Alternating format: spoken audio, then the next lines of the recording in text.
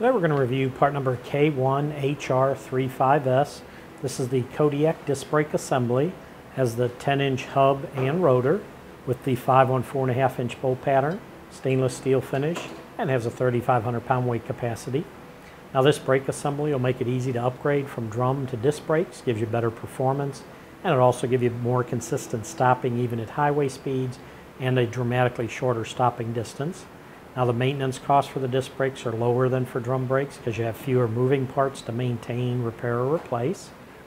Now this does use the industry standard bearings, seals, and races, which are all included. On the rotor itself, you can see it has the uh, vented design to it, which will effectively dissipate the heat. And that'll prevent any heat-related damage to the rotor itself. Now, if you notice, the hub itself is a galvanized finish. The rotor is stainless steel. So basically, you would just slide this right over,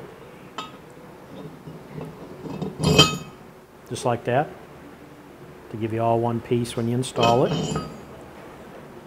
Now, the hub will have the bearing races already pre-installed. The inner races pre-installed and the outer races all pre-installed. Now the stainless steel and the galvanized construction is very durable and rust proof. It's ideal for extended marine use. They both have a 1,000 hour salt spray rating on them. Now the caliper itself is a stainless steel caliper which is self-adjusting, gives you nice smooth equal braking. The stainless steel construction is not flex like aluminum and it has a low drag design. If I pop out the brake pad you can see the stainless steel piston in there. It's a low drag design which means it'll retract the piston further back in there keeps the brakes off the rotor so it gives you a cooler running brake. The stainless steel piston is also two and a quarter inches in diameter, which is about 30% larger than some of the other brands. And since it's larger, it'll give you more braking torque than the competition. And then the brake pad, you can see they use a high performance ceramic brake pad in the caliper. The mounting bracket, it is stainless steel also, provides strength and durability.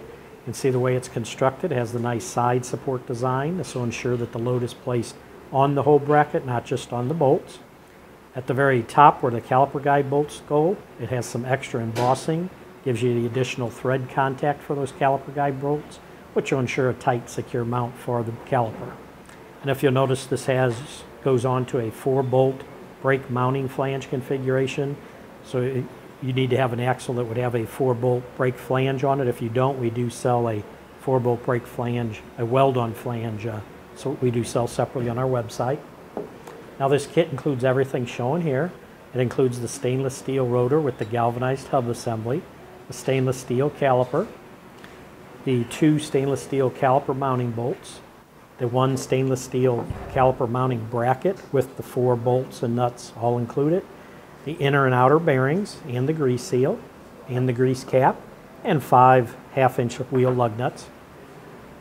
Now one note I do want to mention is that when you do use or you, when you change over to disc brakes it does require a higher line pressure of about 1500 psi compared to the standard drum brakes of about 1000 so what you do want to make sure is that the brake actuator on your trailer will have at least a minimum of a 1500 psi rating few specs on this again. The axle it goes on is a 3,500 pound axle with a number 84 spindle.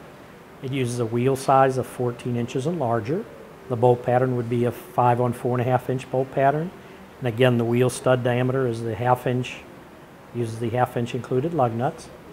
The rotor diameter is 10 inches. And again, it dismounts to a 4 bolt brake flange configuration. But that should do it for the review on part number K1HR35S, the Kodiak disc brake assembly with the 10 inch hub and rotor with the 5 on 4.5 inch bolt pattern.